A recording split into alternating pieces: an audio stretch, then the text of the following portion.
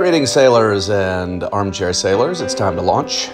And I am pleased to say that after about a week, little over a week of intermittent prep, dewinterization, compounding, polishing, cleaning, rigging up, uh, dodging raindrops, intermittent because there were more rainy days than not, Errant is finally on her way to the water.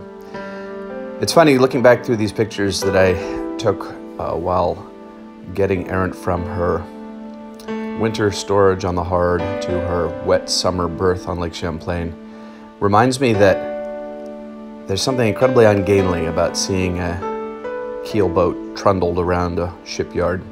And uh, I'm always a little uneasy, but not for lack of skill. This team, that guy in the red shirt, uh, Paul Mero, who is uh, since day one been taking care of my boat, getting in and out safely. Runs a great team, is super attentive, made sure that I had everything taken care of before I dropped in, and then once I was in, checked everything, solved the problem that uh, uh, there was a bit of a, uh, an airlock preventing the water from circulating properly, took care of everything, and made absolutely certain by the time I was wet, here I am right at the end, right as they're getting ready to let me, uh, let me pull out of um, out of the marina. There I am, headed out into Willsboro Bay. Made sure that I was ready to go, ready to sail.